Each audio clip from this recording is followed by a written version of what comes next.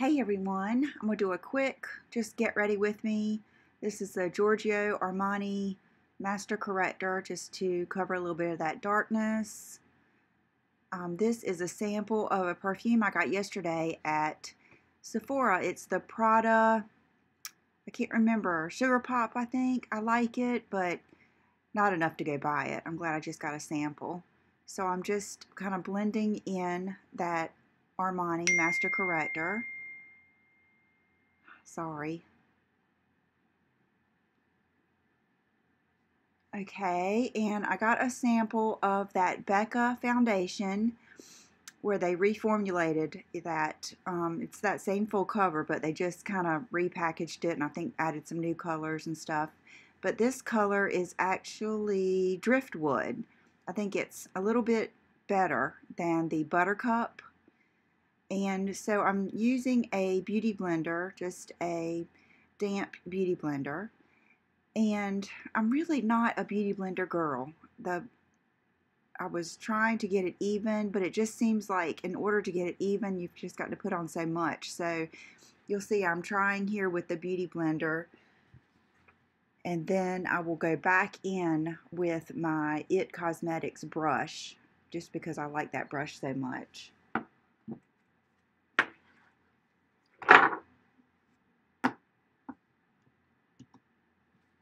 I'm looking now to see if it's getting everywhere. You have to excuse my hair. That This was second day hair, and I am not using a curling iron or anything on it. I'm going to see if I can go the summer and quit abusing my hair so much since it's going to be frizzy anyway. So, um, and I am probably talking to John, and I was playing Nelly. so I might sing, I don't know okay, this is where I decided to put a little bit more of the foundation on with that brush, just because I can get all around my eyes and nose and stuff a little bit better with this brush than the Beauty Blender. And just brushing it all out, it just, it's my preferred method. And bringing it down my neck. And I was thinking I might wear my hair up today, so I was getting making sure I got all around my hairline and all that stuff.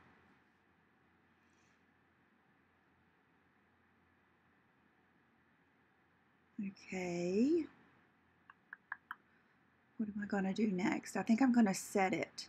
Yes, that is the new IT Cosmetics brush I have. It's like an angled ball brush. I love it. It's so soft. And I'm just setting this foundation with the Charlotte Tilbury powder in number two. And it's kind of neat because this foundation doesn't really need me to put the Laura Mercier over it. Okay, now I'm going in with the buildable cheek brush from Smashbox with the Hourglass Ambient Luminous Ambient Lighting bronzer. And this is a favorite of mine in the summer just a good bronzer. And I think I go back in on the more, you know how it's kind of marbled. I go back with um, some that doesn't have as much color. I think this might even be that I'm using now. Yes, that's that new Estee Lauder palette. So I put a little bit of their bronzer and the blush on. It's a real pretty rosy color. I'll show you this collection. There it is, yeah. It's real pretty. That The blush and bronzer were probably my favorite products. Okay, cleaning out my eyebrows. And I am using a new brow product that one of my subscribers told me about, and I love it. And I hate that this I got out of the frame here, but I will do. I'm going to do a better, much better tutorial soon. Um, talk through with some of my favorite products. But this is the Universal Taupe Brow Marker from it's from Walmart and I can't remember the name of the brand right now, but I'll put it down below. And it is one of the best brow markers I've ever used.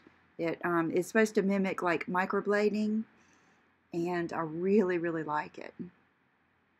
It's going to take me just a little bit to learn how to use it. Like right here, I think I might have done just a little bit too dark, but I'm um, just trying to get used to it. Makes them really, really pretty though.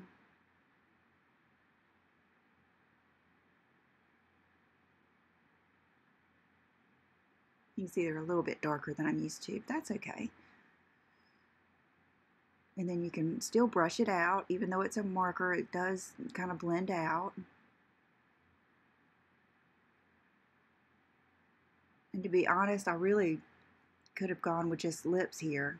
It's amazing what your brows and everything else make. I didn't, on a normal day, like or on a day I'm just going to go walk or something, I probably just wouldn't even put any eye makeup on. Okay, this is the palette in that collection and it is very pretty.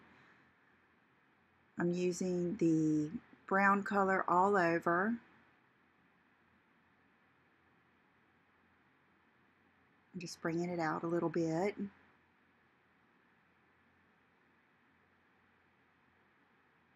It's a really pretty palette.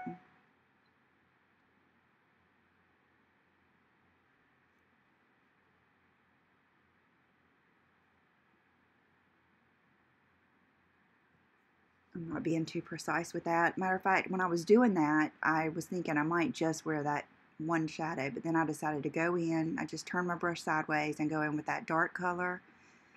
And I thought, hmm, I want to darken the outer a little bit. It blends very easily.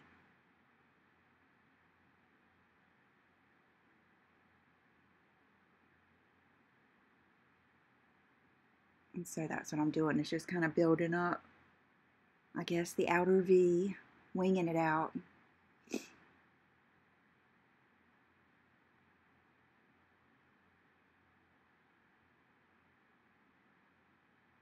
But the tones are really good in this palette. And then a little bit on the lower lash line to kind of connect with that top.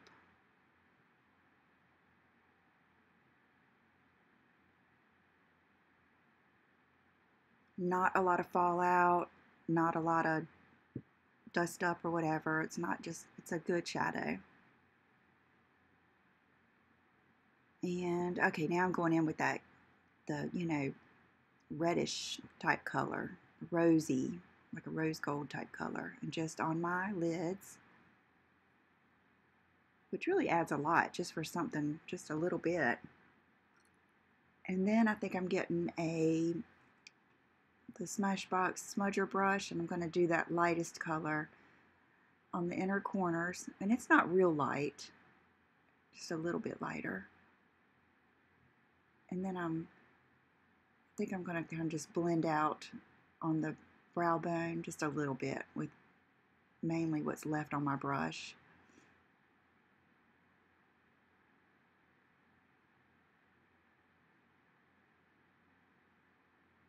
It was just one little speck of fallout and that was it. That's pretty good for that much dark shadow. I wasn't even thinking about listening to the music. I wonder what I'm thinking here. I can't remember. I should have edited this part out. Oh, I know what it was. I was thinking what liner. Did I want to do wing liner or did I want to try to just do lashes? And I just have a hard time just doing lashes. Um, and I just really love false lashes. So I did my usual Lancome art liner wing that just comes, you know, three quarters of the way in. It's just what I like. But you certainly do not have to do a wing to make this that shadow look good. I think it looked good without it. Especially if you're a person that has good lashes. I just don't have good lashes.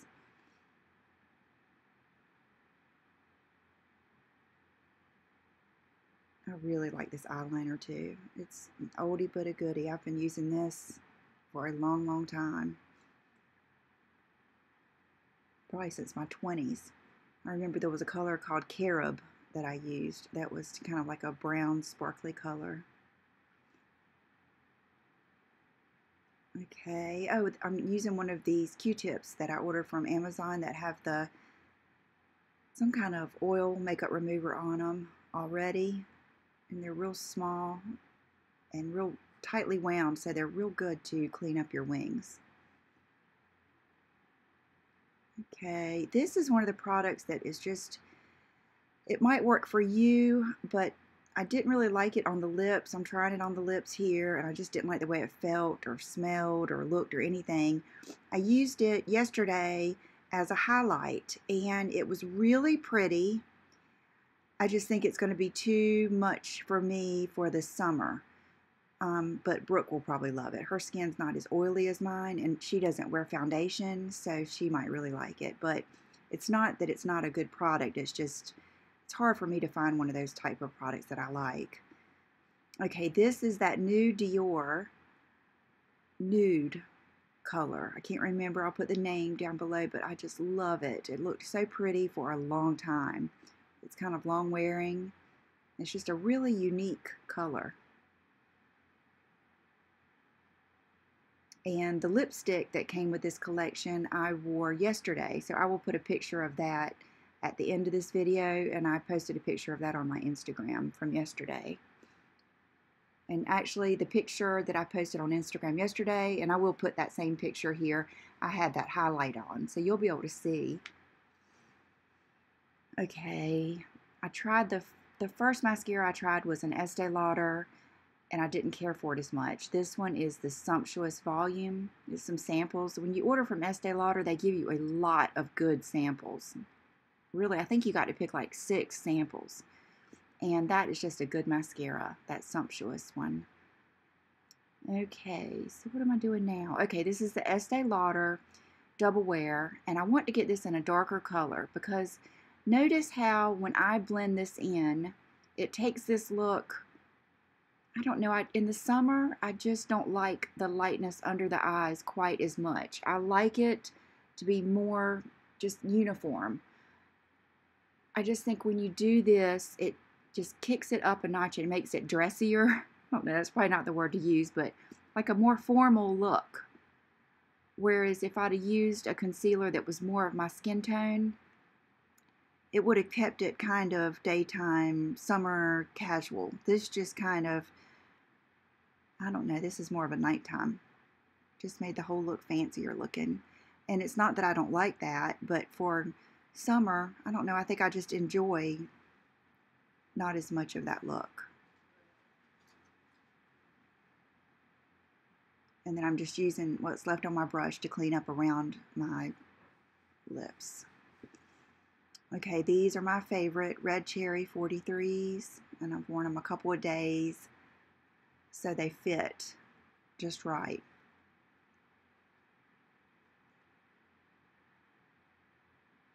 I'm doing a voiceover. Oh my goodness, baby. Thank you. I love you. That was sweet, Brooke. my baby just brought me flowers home. Oh, so sweet. Okay, this is the MAC Giga Black Lash that I like to use on the bottom. Just my favorite, favorite. I've used the IT, I've used the Clinique, I've used all the ones that people like for their lower lashes, but this is my favorite. And um, I try to not really put a lot down there, but just kind of fan them out to the side and get the base of them.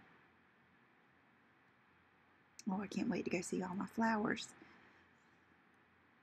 Happy Mother's Day to all of you mothers out there. Okay, I'm taking my hair clips out and I'm thinking, hmm, am I going to put my hair up today? And I decided just to leave it down just because. Thanks for watching. Bye-bye.